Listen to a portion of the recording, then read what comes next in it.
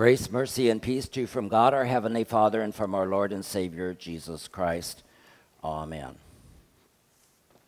As is my habit, I most often preach out of the pulpit, so I take the time to come down to you. So our text is uh, the baptism of Jesus according to St. Luke, the third chapter. And uh, the emphasis is on baptism.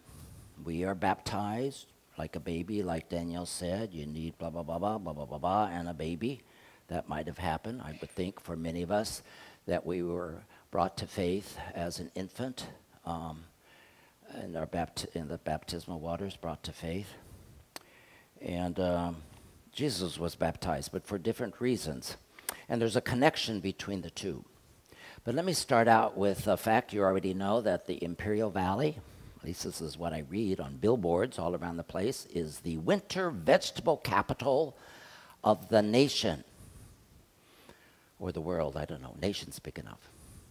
And so, as you, I drive around this area, and as you do, maybe some of you work the land, uh, you have these uh, beautiful fields of vegetables, often uh, leafy vegetables like cauliflower, yum yum, and broccoli, and lettuce, and maybe some onions. I'm so tempted, but I know it's against the law and against God's law for to stop the car and go out and pick ahead.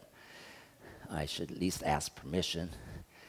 But I, normally I go to the grocery store and I buy the things there. But these, if I went out into the field and picked a, a head of one of these winter vegetables, it would be a, often it's a leafy, a leafy thing, and I wouldn't necessarily um, eat the outer leaves, right? I would kind of pull them apart and get to the to the heart of the of the fruit or the vegetable. Like when you pick sweet corn, at least I see it in the city. When people pick sweet corn, they take all the husk off. That kind of irritates me. It's like, but they want to see if the fruit inside, the fruit inside is good. So the same thing with a head of cabbage. It has layers, and onions. It has layers. In uh, biology class, I remember one of our first simple projects was to uh, examine underneath a microscope uh, uh, the onion skin. Onion skin. And you wouldn't take the big thick skin on the outside. You wouldn't even do that now. And I've noticed after you cut an onion, it kind of dehydrates, and the onion, the good part of the onion, kind of shrinks. So it's layered. And as I mentioned last week, that's what the Epiphany season is. We take off a layer at a time, we take off a leaf at a time to see who this Jesus in the manger is. And last week we took off the outer the outer leaves, the first unwrapping of Jesus, and we discovered that a wise man from the east came to see Jesus. So Jesus was for the world. The star in heaven guiding these Persians or these wise men from the east um, tells us that the baby in the manger is not just for a sect or a group or an ethnic group, but for the world. And for five weeks now, four more weeks, during the season of Epiphany, during the unwrapping of Jesus, we're going to take off layer by layer and look at who this Jesus is and what it means to you and to me. We'll end uh, the first Sunday in February with the transfiguration of Jesus, which is a marvelous insight into, well, come back on February 7th and we'll talk about that then. Today, we're out in the field picking the, the, the head of the cabbage or the onion or whatever it is, and we're going to take off another set of leaves. And these leaves are set in the context of John the Baptist at the Jordan River, and lo and behold, who shows up? It's the Lord Jesus himself, and we're watching him. Chooses to be baptized. And what does that say, and what does that mean? Before we get to the actual event, which is only one verse, one sentence at the end of the gospel lesson, there's a whole preamble, a whole context of what's going on before Jesus is baptized. And what's going on is there's a lot of activity at the baptismal font of the Jordan River. And John the Baptist is doing a lot of preaching and baptizing a ton of people. And the people put this together. They know he's a man from God, and they start wondering and asking themselves and each other could this be the Messiah? The Messiah prophesied in the Old Testament, of the one who is to come to deliver themselves and us. everybody has a need to be delivered, to be rescued. Some people have said Christianity is not so much about what you get. You know, some people, they convert to Christianity, and they think their lives will be a piece of cake. They'll be prosperous, they'll make a lot of money, all their problems will be solved. That's not necessarily true. It may happen, it may not happen. But you can be assured of this that Christianity is a religion from what you escape. So if you lead a boring life like I do, don't fret.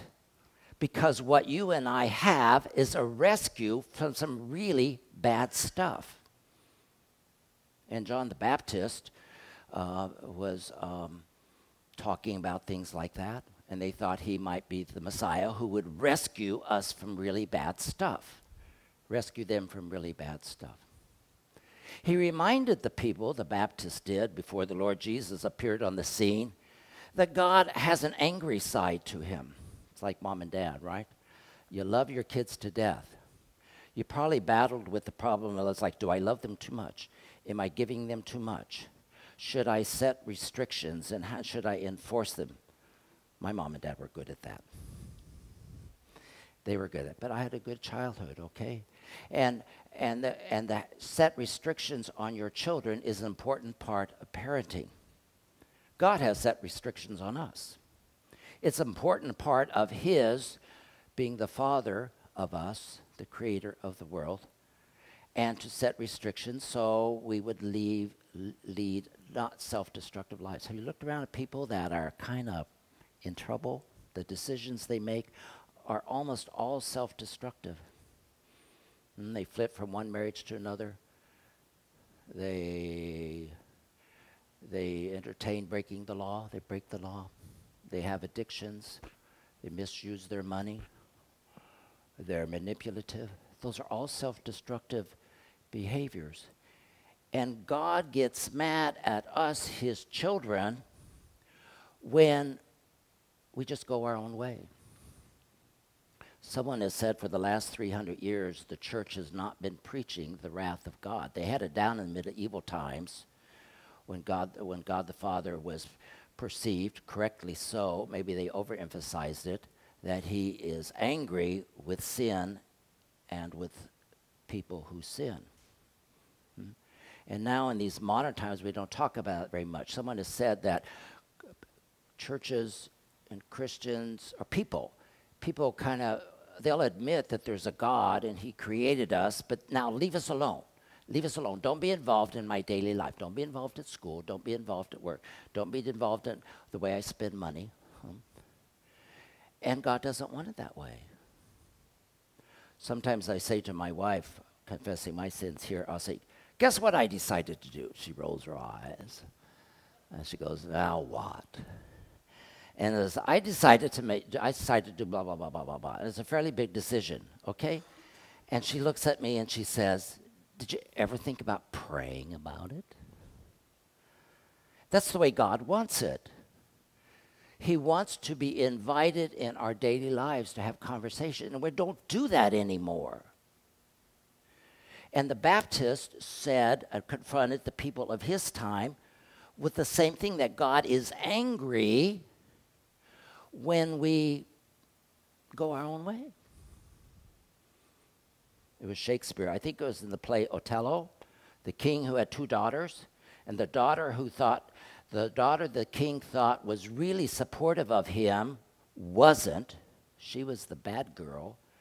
And the other daughter who who did support him and truly loved her father, he, you know, he was hard on her.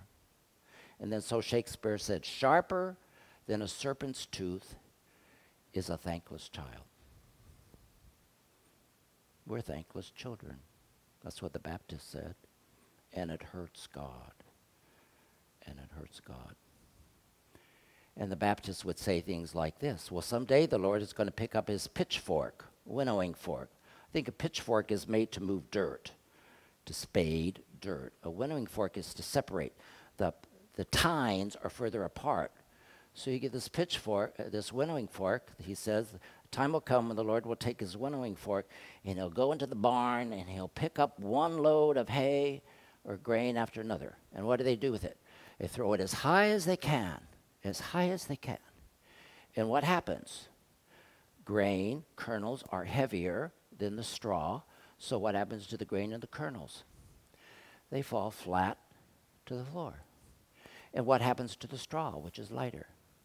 Well, the breeze through the barn hits the chaff, the straw, which is not sellable, uh, and blows it away. And they gather up the grain and they sell that and they sweep together the, the chaff, the straw, which is useless. And what do they do with it? They burn it. That's, that's the way the Lord feels about sin. The Lord feels about sin. So he's preaching things like that. He was showing both sides of God, which we still need to hear. And people are asking, Are you the Messiah, the one to come? And the Baptist says, No, no, no, no. There is one mightier. That's the good news. Up to this point, it's been kind of judgment news, bad news. Hmm? We are, if we're not careful, headed for the bonfire of the straw. The good news is the Baptist says, No, no, no, there's one mightier than I. The laces of his shoes I'm unworthy to, untie or to tie. And he will come and he will baptize you with the Holy Spirit, with faith, forgiveness of sins, life, salvation, and with fire.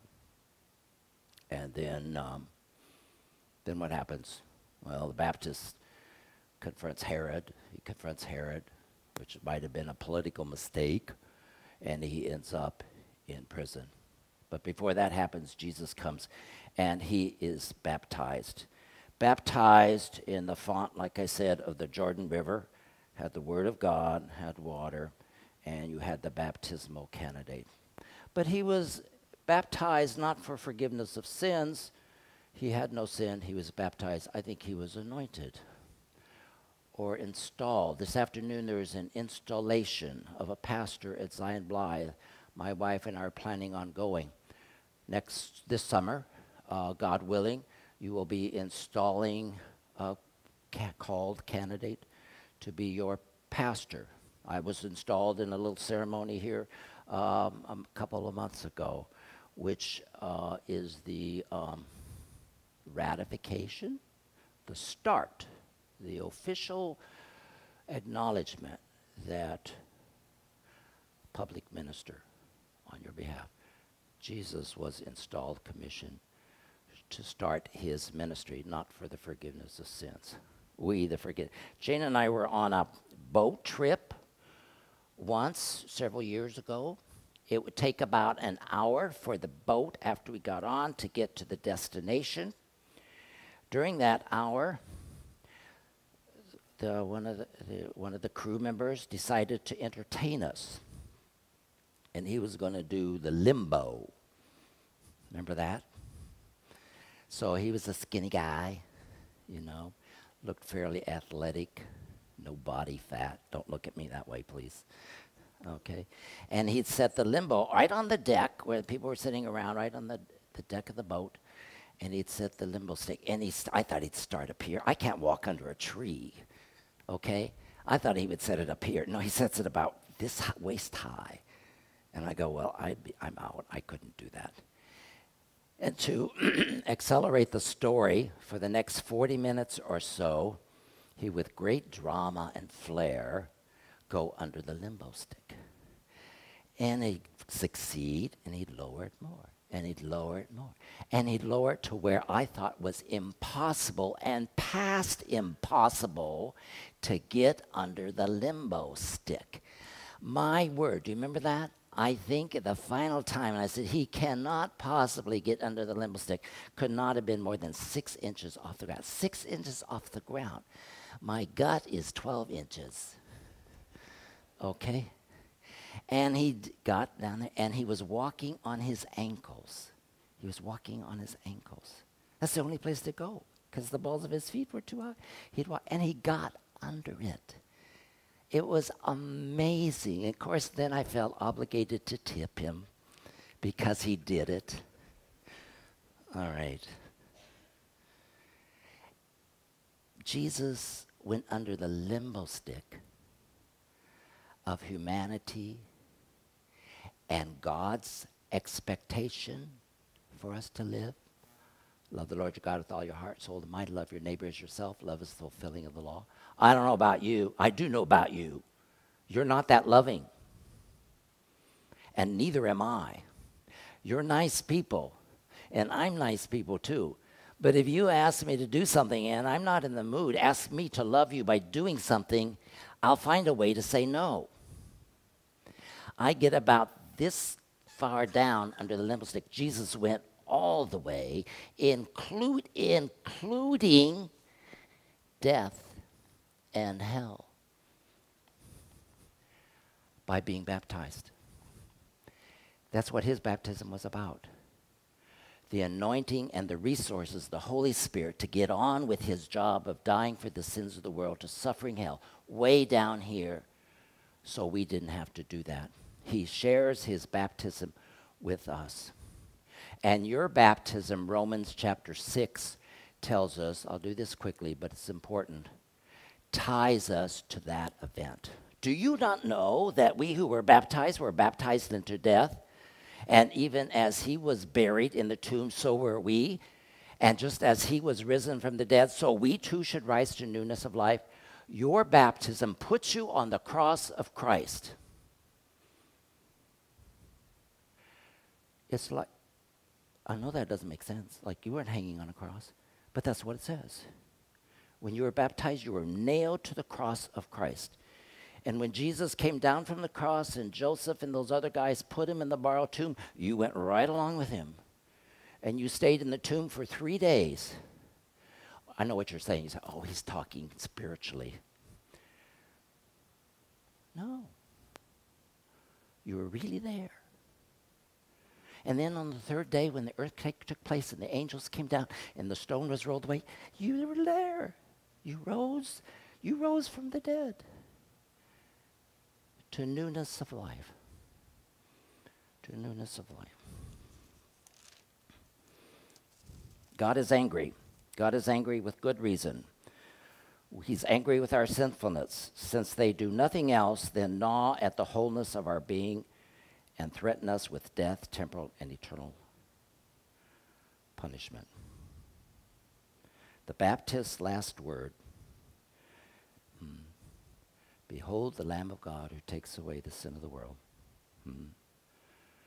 And the Father's word of delight this is my beloved Son is for us because it tells us Jesus' installation and our baptism go hand in hand. And we escape the bad stuff. So, die to sin. Die to sin. It'll spend a lifetime doing it, but there's something in your life which needs to die. It has. Take it back to the cross. Take it back to the tomb. Take it back to the grave. Amen. And the peace of God, which passes all understanding, keep your keep you remembering your baptism and its ties with the baptism, the anointing, the commissioning of our Lord, until life everlasting. We'll gather our